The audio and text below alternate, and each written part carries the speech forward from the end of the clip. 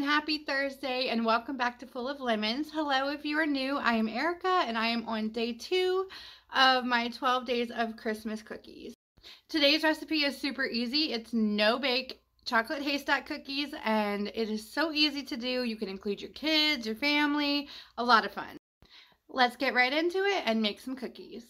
You're only going to need four ingredients for these cookies. You're going to need 12 ounces of chow mein noodles, 12 ounces of chocolate chips, 12 ounces of butterscotch chips, and a quarter cup or around or about of sprinkles. So the first thing we're going to do is dump our chocolate chips and our butterscotch chips into this bowl and microwave in 30 minute 30 second increments in the microwave until melted.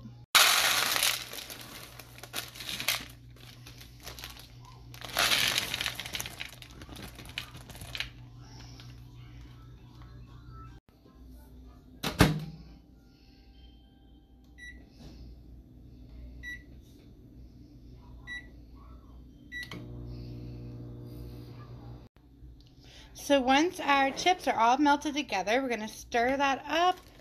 And then we're going to add the whole bag of chow mein noodles. And then we're going to mix it up and cover all of the chow mein noodles so that they're nice and covered.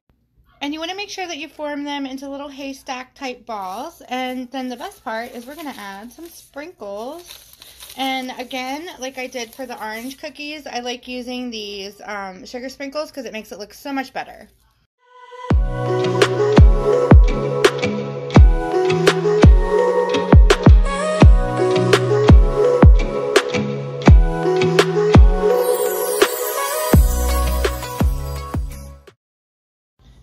And then when you're all done forming them into haystacks and adding the sugar and putting them on the trays, they can sit there and harden a little bit and then you can transfer them into a nicer dish or container or whatever you wish.